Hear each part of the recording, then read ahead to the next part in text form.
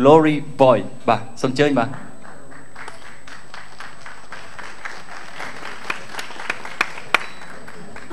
ចា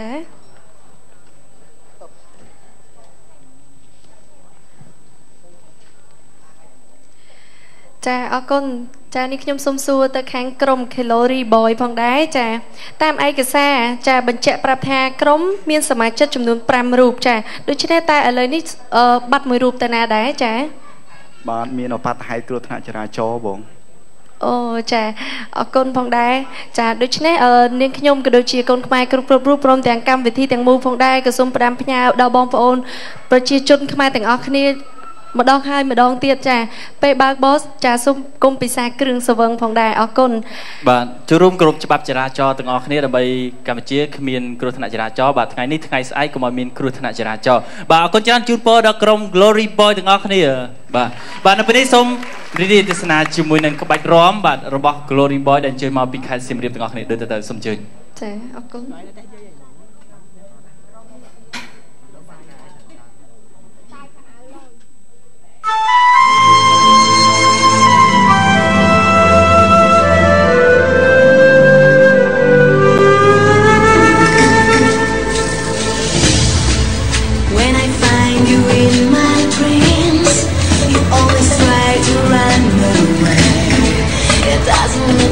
but it seems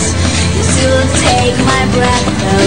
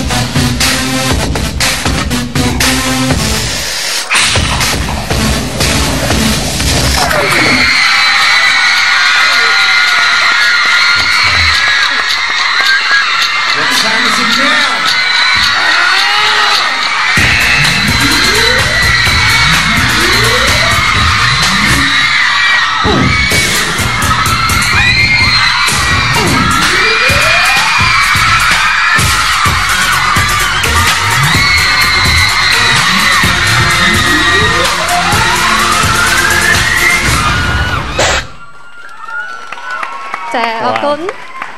បាទនៅពេលដែលគាត់អាឡាតម្ដងម្ដងខ្ញុំមើលទៅដូចស្រាលដល់ហើយខ្លួនបាទបើខ្ញុំអាឡាតវិញនឹងនៅកាត់នៅនឹងធីងបាទអរគុណច្រើនបាទសូមការផ្ដល់មកវិចារពីអ្នកគ្រូណារិនបាទសូមអញ្ជើញ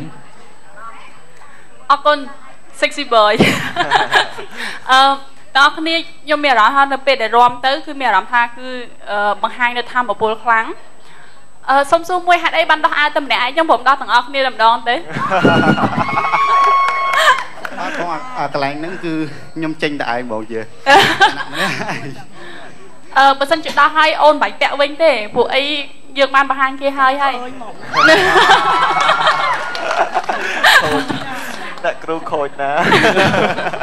អរគុណច្រើនរំដល់ទាំងអស់គ្នាអឺតែសូមប្រយ័ត្នបន្តិចអឺ step របស់ពួកយើងអត់ទាន់ត្រូវគ្នាមែនតែនទេ ហើយនៅមួយទៀតនៅច្បាក់ដៃនៅពេលដែលរំគឺមួយចេញមួយចូលអញ្ចឹងអឺខ្ញុំសូមអឺថាបងប្អូនទាំងអស់គ្នានៅពេលសិនមានឱកាសទៅជុំក្រោយទៀតប្រយ័ត្នបន្តិចអំពីចង្វាក់ហើយនឹង step របស់យើងទាំងអស់គ្នាអរគុណច្រើនបាទអរគុណដល់អ្នកគ្រូបាទជាបន្តសូមលោក Ferdy បាទ You're so great guys uh, I love I love the way you your stand I almost die here No. looking on you uh, one thing I noticed I like the energy and uh, I wish I can see you on the final បាទអរគុណដល់លោក Ferdy បាទជាចុងក្រោយសូមអញ្ជើញបាទបរិសសង្ហាបាទលោក Alex បាទបាទអរគុណពិធីករបាទអត់ដែលភ្លេចសោះពាក្យហ្នឹងបាទបងបបងសង្ហាមែនណាខ្ញុំហៅមិនបងអរគុណបាទអឺមគឺឃើញតែបងអូនយកក្បាច់រាំដែលអឺលេងបញ្ចូលរវាងអឺចង្វាក់ដែលយឺត ជាមួយនឹងក្បាច់អឺដែលខ្លាំងយើងដាក់ចូលគ្នាអញ្ចឹងគឺថាធ្វើឲ្យអារម្មណ៍អ្នកមើលគាត់គាត់បង្កើនទៅរហូត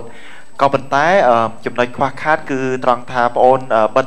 នៅចង្វាក់រាំរបស់បងអូនហ្នឹងពីរដងដល់អញ្ចឹងធ្វើឲ្យអ្នកមើលគាត់ច្រឡំហើយនៅពេលដែលបងអូនបិទលើកទី2វាអត់មានអីលើសពីលើកទី1បាទដូច្នេះបងអូនត្រូវយល់ថាអារម្មណ៍អ្នកមើលគាត់ឡើងរហូតអញ្ចឹងយើងត្រូវឲ្យគាត់ឡើងដល់ចំណុចមួយដែលធ្វើឲ្យគាត់ចុងក្រោយគាត់ទះដៃ ឲ្យបងងើបឈរអ្នកគ្រូមិញគាត់ងើបឈរតែឃើញគេដោះអាវបាទចាអរគុណច្រើនបងអូនសង្ឃឹមថាជួបគ្នានៅវគ្គក្រោយបាទអរគុណបាទអរគុណច្រើនបាទ